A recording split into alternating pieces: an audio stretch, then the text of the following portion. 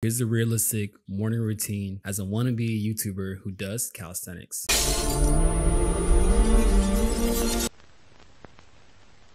So like most people, I wake up, give or take around 6 to like 6:30 a.m. I know it's kind of early, but there's a reason why. And I'm not gonna be showing y'all like each and every single detail of what I do.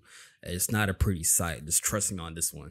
um, plus, it'll take way too long to record. I'm not even gonna cap. I'm being honest with y'all. But anyways, after me, you know, using the restroom, doing what I gotta do, take care of business. You feel me? I always make sure that I have to make my bed. So I believe a routine in a nutshell boils down to the smallest task that you have and holding yourself accountable to be consistent with it, no matter how big or small that task is. So, shout out to my mom because she definitely drilled in the idea of make my bed every single morning. Like, I do this non negotiable, bro. This is like, you have to do this if you want to be consistent and feel more productive throughout your rest of your day. If you're not doing your bed, that's automatically one mistake that you're not doing. So as a kid, I never understood the importance of like why I had to make my bed, other than it being like, I guess like neat, tidy, and organized. But as I grew up, started living by myself, I was like, yo, me making my bed actually does have a lot of benefits to it. So let's talk about whenever my bed is not made. Here's what I experienced. As I continued to like walk past my room and see my bed not being made, I always, in the back of my mind, subconsciously would feel like I just had an urge to not want to do something, not feel motivated, right? And every time I see my bed too, like not being made, I just had that that strong urge just want to lay on it. So it made me subconsciously, like no cap, feel more lazy and just unmotivated in general. And this is all just because of a lack of tidiness, right? A lack of like being organized. I know that's crazy, but there's been actually articles um, addressing this exact specific matter. There's actually a link between disorganization and one's mental health. Now, I'm not to dive too deep about it, but Here's what the gist of it says. Studies have shown that individuals who describe their living spaces as cluttered or full of unfinished projects are more likely to experience feelings of stress and depression. Clutter can create a sense of chaos and overload, which can be particularly overwhelming in today's already fast paced world. Like, wow,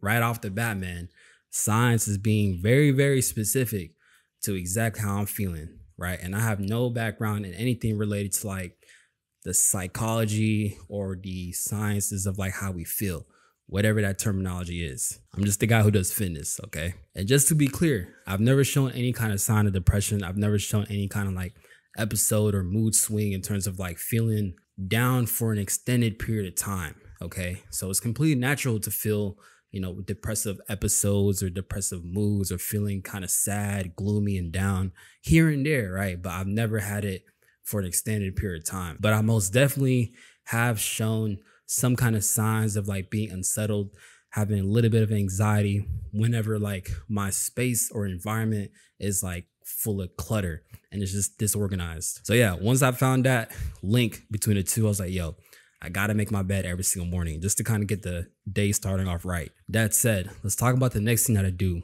in my morning, which is the morning prayer. So many of you may or may not know, but I'm a Muslim, and essentially we have five obligatory prayers. One being the Fajr prayer, so that's like the sunrise prayer, and essentially we have to observe and perform this prayer in the morning and this is like a religious obligatory action that we have to do. As a person who practices Islam, you have to perform your first daily prayer. So not only is it an obligation religiously, right? It's also a personal commitment that I made sure to stick by because I learned one or two things from it actually. It actually forces me to wake up in the morning, no matter how I'm feeling, no matter how nice and warm that bed is, how nice it is to be under the covers, especially when it's cold. Man, I got to get up for that morning prayer regardless. And what I noticed was like, this is actually a game changer in terms of like one's mindset. Okay. And I don't want to get too religious on y'all. All right. This is not a religious based channel. This is a fitness based channel right here. But to kind of dumb it down, this established not only a routine for me to be consistent with, but it drilled in the ethics of like understanding how to be consistent, understanding how to be, you know, structured in a way. And I believe like that's actually one of the most important things in life is that if you don't have some kind of structure into your life, a lot of things are going to fall apart because you want to almost think of your life as a bridge right? You want to make sure you have the right foundation. So whatever extra or unaccounted for variable comes to that bridge, right? Like there's like an 18 wheeler driving through it, a small car, hundreds of thousands of people walking on it. You want to make sure you have that foundation so you can easily still get from point A to point B. Um, hopefully, y'all follow that analogy because I kind of made that on the go. But observing your prayers five times a day as a Muslim, it definitely forced me to just have more structure to my life. And I actually believe that's one of the main reasons to why a lot of people are converting or reverting to Islam is because they notice that we are very committed to our religion. And I think that just might stem down from like the mindset, right? A lot of people crave that uh, dedicated, committed mindset that us Muslims have. Now, I'm not saying everybody else who's not Muslim doesn't have that mindset, but I'm just saying what the media is saying, okay? But regardless, though, like I said, not religion based channel if you are not following Islam or if you're not following any kind of religion, right? I still want you to at least wake up in the morning and perform a practice of like gratitude. You know, be thankful for yourself, be thankful for the life that you have, be grateful for what you've accomplished. You know, put out your goals out there to yourself. Like, you know, don't you don't need to be telling the people just like speaking it out loudly so you can actually hear the words that's coming out of your tongue. And that itself will kind of like drill in that confidence drilling the ability to be consistent in whatever amount of goals or things that you want to accomplish, right? So, yeah, that's why I learned work for me. And I believe that can definitely be easily transitioned onto y'all. Ever since I started working out, like about one to two hours after waking, it literally sets the tone for the rest of the day. I feel way more awake. I feel energized. And I even feel a little bit more inspired and motivated to just get stuff done. Like, I don't know, man. Something about morning workouts just hit different. This is coming from a guy who used to work out in the evenings or even like the late night sessions. Like, I'm talking like 9 or 10 p.m. I'd be in the gym. So I did a complete 180 switch up in terms of like the schedule, like when I work out. Then, of course, my favorite part about going to the gym is the fact that I actually get to walk to the gym. And this is about like a 13 to 15 minute walk to the gym. And thankfully, I live in an area where the gym is like close um, in terms of like walking distance. So I'm also getting in my steps. I'm also allowing myself to essentially just feel more mentally prepared for the actual workout because I'm not going to cap. Like, I be still tired by that time, right? So this walk pretty much helps me get physically and also mentally awake and prepared for the gym. So uh yeah, the walk to the gym is immaculate, like no cap. Then for my actual workout, it was a full body day centered around these three primary lifts, the weighted chin-ups, weighted dips, and also the front barbell squats. Now, I won't go too deep about these exercises and what I did, but I will say this. One of the most important things that you can do in this life is to take care of your body. Like, I think that's a non negotiable thing to do for each and every one of y'all. Now, I'm not saying you need to be on that bodybuilder level of building the physique or elite athlete strength to just get super strong in the gym on whatever exercise you're doing. But I will say this just doing the bare minimum to be able to get results, following a three times per week training frequency in the gym doesn't really take that much time out of your week, right? You're only investing literally just a few hours per week. On a session to session basis, you're probably investing like anywhere between one to an hour and a half of that day. So if you're not working out, something is telling me that you're not taking your body seriously. The simplest fixes to a lot of people's illnesses and just like mood swings and all of that like can easily be solved by just going out to the gym doing something with your body because the thing is that i notice with me is like whenever i work out man i feel so much better after the workout. I feel more motivated to get stuff done like i mentioned earlier. And another thing too is like you're also conditioning your body to essentially take on stress right? Because whenever you're engaging some kind of physical activity you're just inducing a certain signal of stress to your body. So you're also building some kind of like tolerance to some kind of pain, right?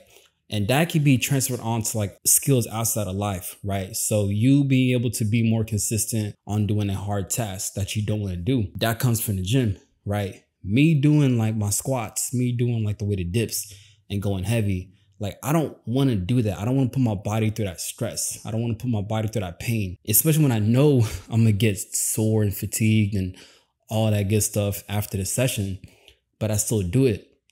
So I'm pretty much conditioning myself to just endure pain, to increase my tolerance for pain, right? So, all in all, if you truly care about yourself, just invest a few hours per week to your body. All right. You're going to thank me later. You're going to thank yourself later, actually. So after the gym, we obviously got to go back to the kitchen and re up on some energy. Now, me personally, I voluntarily like to intermittent fast, meaning I don't have my first meal in the beginning part of my day. So that's usually about four to up to five hours after first waking up. Like I legit don't have a meal until then. And I'm completely normal with like going to the gym on an empty stomach, drinking like coffee on empty stomach. Um, I do incur some kind of calorie because of the milk, of course. I'm not doing it for the purposes of essentially entering that ketogenic stage, you know, that fat burning process. It's more so of like, yo, I'm just naturally not that hungry in the morning and I actually feel better in the gym because I'm just lighter. I don't have any like food weighing me down with my calisthenic movements.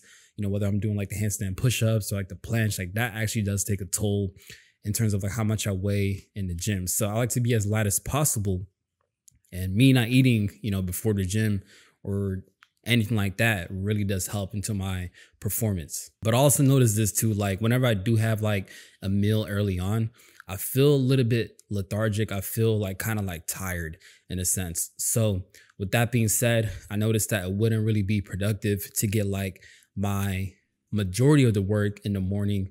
Um, so yeah, I not only just curb my appetite, I feel more productive. So this is what works for me. So yeah, let me know. Do y'all drink coffee? Do y'all drink anything else like water, juice, smoothies? What do y'all do in the morning? Like what's your morning routine in terms of like uh, what y'all eat or drink for like energy?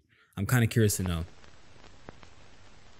And then usually at the tail end of my morning, I typically allow one to two hours to strictly do busy work. Pretty much a lot of the tasks that I hate doing throughout the day. This mainly includes like editing my YouTube videos or like Instagram videos. Um, I personally like to do the bulk of my editing in the morning. I typically don't like to edit. Um, it takes too much time. It's like super time consuming but it's like very repetitive and easy. So I'm like, all right, let me just go ahead and knock it out the first part of the day because I am the most like energized, the most motivated and inspired to do any kind of work. So the rest of the evening, if I wanted to, I can kind of just like focus on more creative work like scripting or thinking of ideas and whatnot. Um, some people like to do it other ways. Some people like to like plan their day in the morning. Some people like to just get the creative juices flowing from their brain to brainstorm and essentially that works for them. But for me, I found that it kind of shoots me on the foot by the end of the day or like on another day if I just don't want to do any of the boring work, quote unquote. So if I just knock that out in the morning, I pretty much save myself from feeling super uh, demotivated or unmotivated, whatever the word is. Y'all get me though. But, anyways, as long as you're doing something productive, that's all that really matters. As long as you're taking one step closer towards your goal, you can't go wrong with that. But hey, what do I know? Kober Trains, he's up next. Make sure y'all subscribe to him. He's number one out here. He's the toughest fitness guy out here.